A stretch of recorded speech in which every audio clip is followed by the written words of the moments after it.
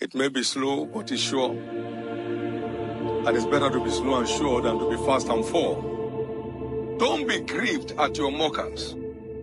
They can't see what you see. People may laugh you to scorn today, they will celebrate you tomorrow. It may be slow, but it's sure.